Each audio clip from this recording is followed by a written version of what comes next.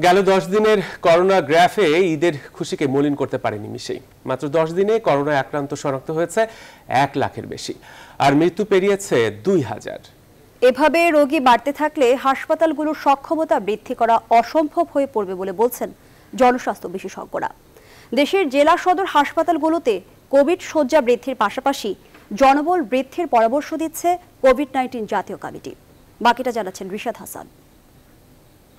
রাজধানীর হাসপাতালগুলোর করোনা ওয়ার্ডের চিত্র দেখলে বোঝার উপায় নেই রাত পোহালেই ঈদ। নগরবাসী যখন নারীর টানে বাড়ি ফেরায় ব্যস্ত, তখন করোনা ওয়ার্ডগুলোতে হাইফ্লো নেজাল কেননা পড়াতে হচ্ছে, অক্সিজেন স্বল্পতায় ভুগতে থাকা রোগীদের। এমন বাস্তবতায় ঈদের খুশিতে করোনা ভাইরাস যেন শুধুই দুঃখের সংবাদ। গেল দশ দিনে করোনা সংক্রমিত করেছে দেশের এক লাখের বেশি মানুষকে, যার মধ্যে আছে যাবৎকালের সর্বোচ্চ সংক্রমণের রেকর্ড। শুধু তাই নয়, একই সাথে মৃত্যুর গ্রাফটাও উঠতের দিকে। দশ দিনেই মৃত্যু ছাড়িয়েছে দুই হাজার, আর পাওয়া গেছে সর্বোচ্চ মৃত্যুর সংখ্যাও। স্বাস্থ্য অধিদপ্তরের এমআইএস শাখার তথ্য অনুযায়ী দেশে গড়ে প্রতি দশ লাখে এখন আক্রান্ত হচ্ছেন ছয় হাজারের উপর, যার তুলনায় সুস্থতা মাত্র পাঁচ হাজারের উপরে। তবে চোখ রাঙাচ্ছে গড়ে একশো সাত জনের মৃত্যু। জনস্বাস্থ্য বিশেষজ্ঞরা বলছেন, সংক্রমণ কমানো না গেলে পুরোপুরি সক্ষমতা হারাবে হাসপাতালগুলো। রোগীকে অক্সিজেন দেওয়ার যে ব্যবস্থাপনা সেটি তার সামর্থ্যের চূড়ান্ত সীমায় রয়েছে।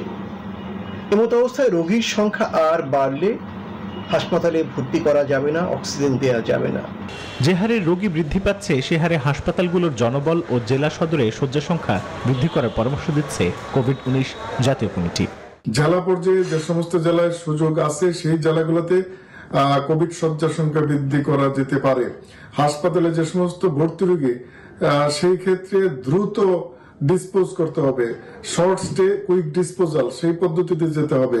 করোনা সংক্রমণের ঊর্ধ্বমুখী গ্রাফ নামিয়ে আনতে সরকার ও জনগণ উভয় পক্ষকেই দায়িত্বশীলতার পরিচয় দিতে হবে বলছেন বিশেষজ্ঞরা। Murshad Hasan news twenty Dhaka.